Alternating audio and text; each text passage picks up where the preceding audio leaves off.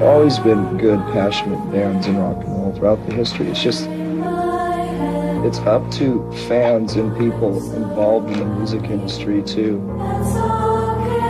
make sure that it doesn't get as, as stale and as bad as it has within the last 10 years.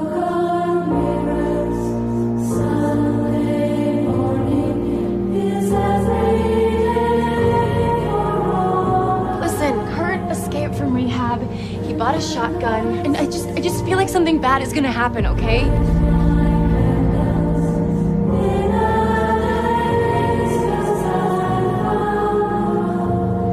He got real depressed, and he wrote basically a suicide note. There's no real other way. He claims it was, he was leaving me. Kurt!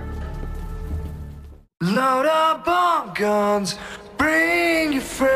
It's fun to lose and to pretend. She's so self-assured.